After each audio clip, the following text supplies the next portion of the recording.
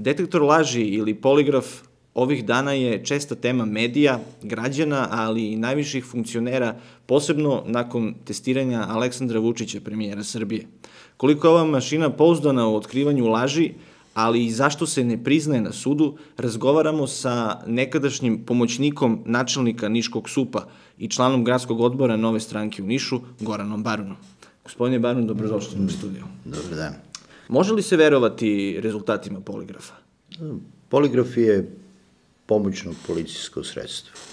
Mi samim tim postupci gde ste u samom uvodnom delu naveli da li možemo verovati poligrafskom testiranju koje je obavljeno poligrafskom ispitivanju, mm -hmm. kako se pravilno kaže, -hmm. ovaj, a, prema premijeru naše države, a, predstavlja u neku ruku vređenje inteligencije pripadnika policije koji profesionalno obavljaju svoje zadatke.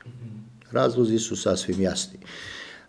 Istorijski gledano poligraf se razvijao od razvojem psihologije kao nauke i svih ostalih prirodnih nauka došlo je do usklađivanja tih relacija koje su se pojavile 1915. godine, prvi početci teoretskog postavke poligrafa, 1919. godine prva ta aparatura svedena na kategoriju onoga što ima velike sličnosti sa današnjim poligrafom je napravljena, a 30. godina je Amerika u Americi su je ceo institut za poligrafska istraživanja formiran, tako da to predstavlja jedno istorijsko kretanje koje pokazuje da poligrafska testiranja treba da imaju osnovu pokazivanja onoga šta je predmet interesovanja ispitivača. U konkretnom slučaju, poligrafsko ispitivanje u celini gledano predstavlja niz radnji koje nisu samo stavljanje na aparat. Počeo od toga kako se obrađuje predmet koji je razlog zašto se neko poziva na poligrafsko ispitivanje, sve dotle dok do izučavanja kompletno saznanja vezanih, vezanih za taj predmet i pitanja koje treba postaviti toj osobi koja se nalazi na a, tom narodski rečeno detektoru laži. Znači, potreba je neki širi kontekst, je tako? Vrlo, vrlo kompleksna oblast. Ne bez razloga poligrafskim ispitivanjem se bave isključivo stručnjaci koji su završili psihologiju ili neku humanističku nauku koja je bliska tome.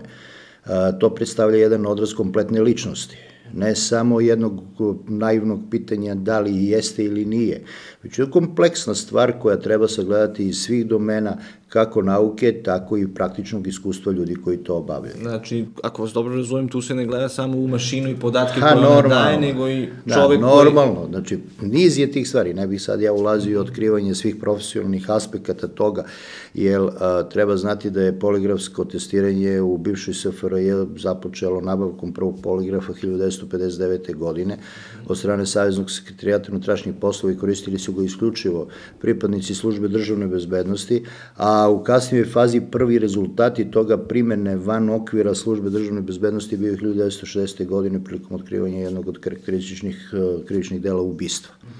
Ali je sasvim pogrešno uh, shvatati situaciju da za bilo koju stvar u bilo kom trenutku i na bilo kom mestu treba ići na poligraf. Mhm. Danas imamo upravo takvu situaciju, situaciju, čini mi se, jer i sam premijer je zahtevao da ode na poligraf kako bi dokazao da nije učestvovao u nekim radnjama. E, koliko se tome može verovati uopšte? Znate šta, pretpostavljam da profesionalni deo policije koji postoji, koji je izuzetno sposoban da proceni celu situaciju, je ukazivao na jedan tako blagorečeno ovaj, detinji potez premijera koji pokazuje na jedan određen način kao kad dete uđe u, u ovaj, špaj sa pekmezom i umaže se malo pekmezom, izađe napolje i počne da laže. Premijer se otprilike tako ponašao. Kao plašeno dete koje treba da se opravda pred a, mamom i tatom zato što je ušlo u špajs. Sve što je urađeno u profesionalnom smislu prema toj aktivnosti koju je premijer dao kao svoju inicijativu urađeno je profesionalno, to sam siguran. Ali bi će biti vrlo interesantno kroz protok vremena doći do kompletnog tog predmeta ovaj, i sagledati sve aspekte onoga šta se tamo u tom predmetu nalazi. A, treba zapamtiti, nijedna pa aktivnost Ministarstva unutrašnjih posla, posebno vezano za takve radnje, nije, nije bez traga Znači, premijer je sada došao u jednu vrlo nezgodnu situaciju, koju sad trenutno sigurno neće moći niko da uradi, jer niko neće imati hrabrosti, ali taj dokument koji se tamo nalazi je trajnog karaktera. On u stepenu čuvanja tajnosti ima kategoriju trajno.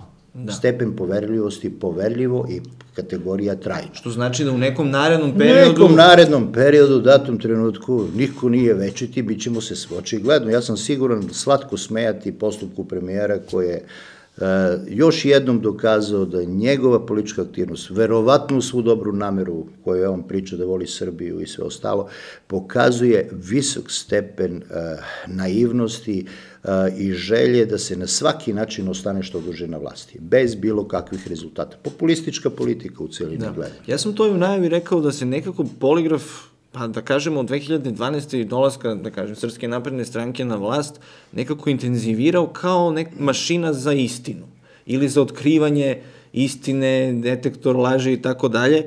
Ovaj, ranije nije bio to slučaj, a u mnogim zemljama u svetu, u većini, da tako kažemo, se on ne priznaje kao uh, verodostojno sredstvo na sudu. Uh, takva situacija je u Srbiji.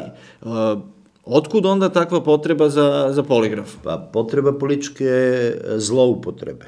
Znači, jedno pomoćno policijsko sredstvo u predistražnom postupku za, za utvrđivanje nekih činjenica koje su nesporno dalje omogućavaju ukazivanje na ovaj, izvršioca i sam predmet krivičnog dela, je sada stavljen u ulogu stvarno pokušavam da nađem najblažu reč onoga što stvarno mislim o postupku premijera Vučića o ovoj stvari.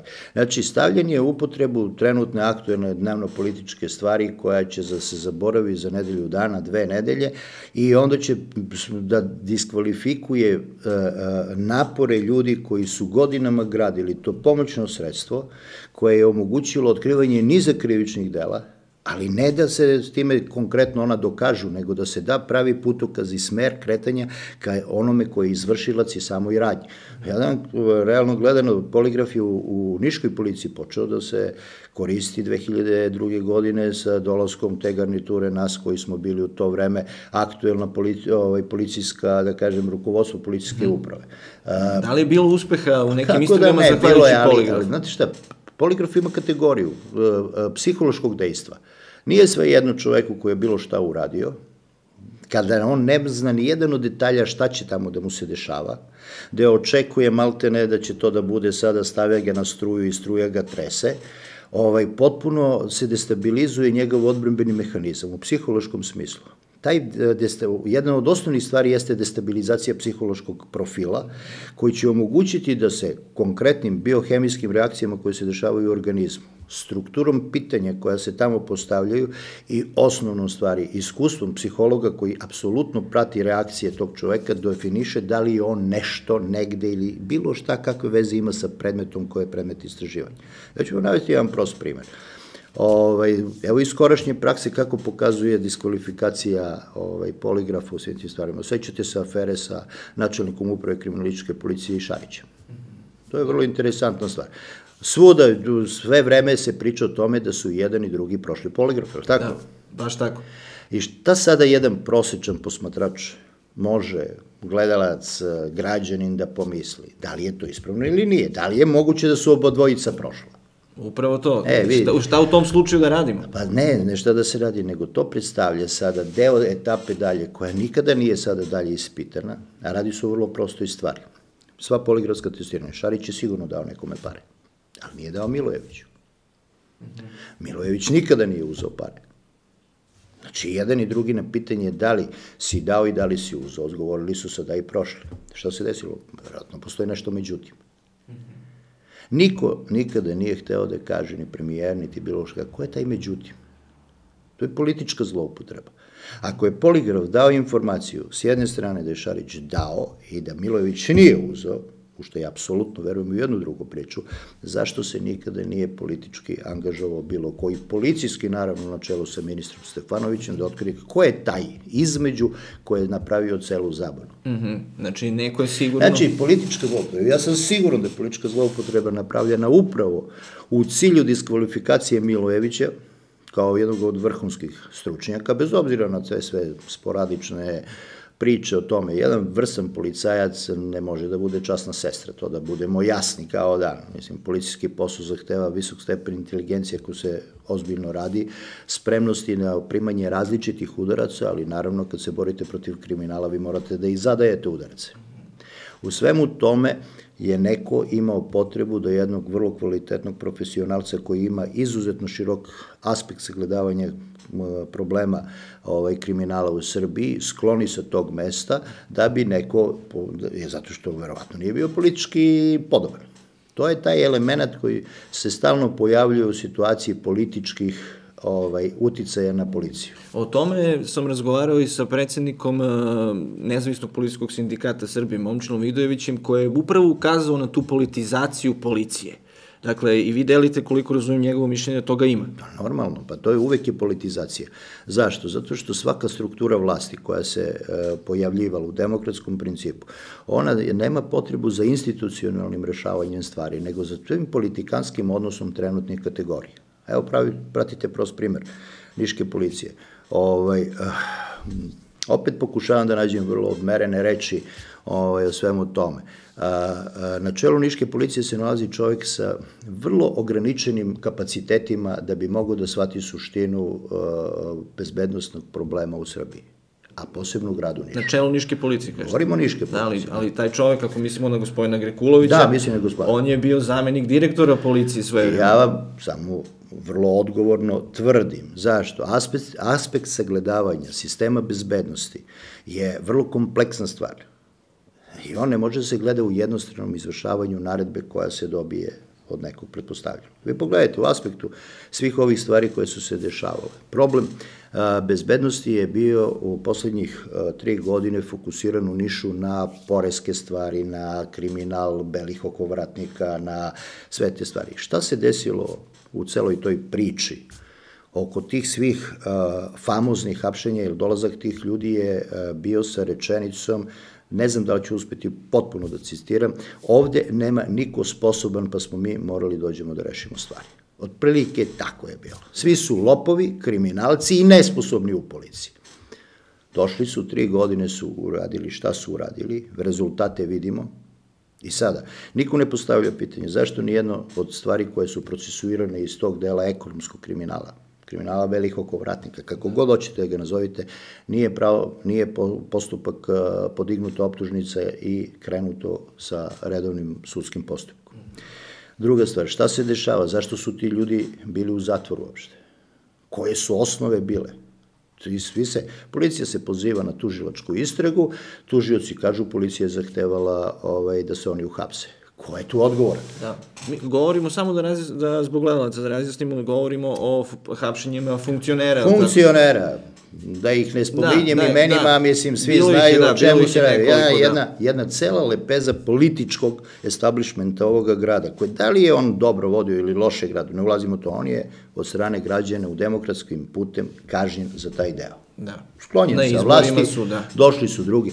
Radi se o tome da analiza posle toga je trebala da bude stručna, kompetentna i da izazove pravi efekat, ako već povek, neko lopop treba da ide u zatvor, ko taj normalan čovjek koji zna da je neko krao, mora da odgovara za taj. Da, mi imamo, imamo nedavno je baš potvrđena optužnica protiv bivšeg funkcionera, zapravo i dalje funkcionera Socialističke partije Srbije, gospodina Igora Novakovića, ovaj, ali izostalo je u nekim drugim slučajevima, ali upravo i Novaković u nekim svojim postovima na Facebooku pisao da je bilo neke sprege između određenih političara. To su njegove interpretacije, da. stvari u to ne bi ulazio, to on ima pravo da se brani, naše zakonodavstvo brani, brani se čovjek svim sredstvima, tako da o njegovom slučaju ne bi dao nikakve komentare. Više vam a, pokušavam da vam prikažem aspekt problema u celini kako se sagledava, u čemu se nađe policija. Vi pogledajte, Niška policija ima strašne trenutne probleme u sistemu rukovodđenja. Zašto? Zato što je niz ljudi koji su do ljuče obavljali neke funkcije posle svih ovih stvari pomereni, a nije linija rukovodđenja ovaj, održana. Vi imate sada načelnika koji nema ispod sebe svoje prve saradnike. Ja koliko sećam, gospodin Kulović je imenovao neke načelnike određenih odseka, odeljenja i tako dalje po dolasku. A imenovao pa i posle ih nema, to su sve načelnici sa strane bili. Znači, to ne bi ulazio sad u strukturu ne. imena i sve ne, ali, ste, ali vam rekli govorim... da nedostaju zbog toga... Pa nedostaju zato što su ti koji su došli sa njim otišli, Znači, ta garnitura je ostao samo Grekulović, nije postavljen novi načelnik policijske uprave, nije izvršena dalja sistem, ovaj, znači nije dalje raspored funkcija, jer e, sistem ne može da funkcioniše samo jednim čovekom. To je timski rad. Timski rad u kojem svako poznaje segment svog posla jako dobro, trebalo bi da ga poznaje i u tome snosi krivičnu, materijalnu i moralnu odgovornost za izvršavanje tih zadataka. Nemamo, još, nemamo vremena, zapravo smo stigli do samog kraja. Na osnovu svega ovoga što smo rekli, da li možemo mi kao građani da verujemo da je policija nepristrasna danas i nezavisna?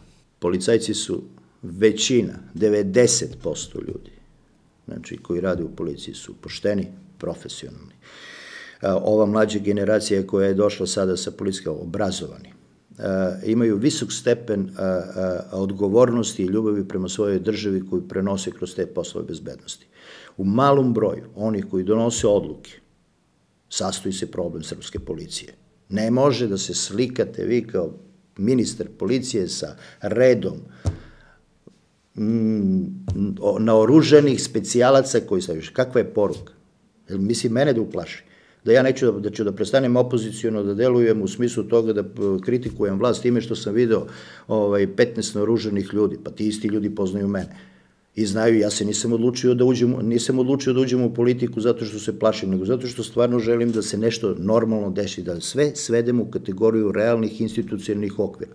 Bez krupnih i prljavih reči koje pojedini tabloidi izbacuju, tipa mi ćemo ovo, mi ćemo ono, ovaj treba da... Ne, racionalno ukazivati na probleme, nadati se da građani koji treba da glasaju budu svesni toga da postoje, da nisu svi nepošteni, da politika može da bude jako odgovoran posao u kome pojedinac može da da krupan doprinos za dobrobit celokupne zajednice. Hvala vam na gostovanju.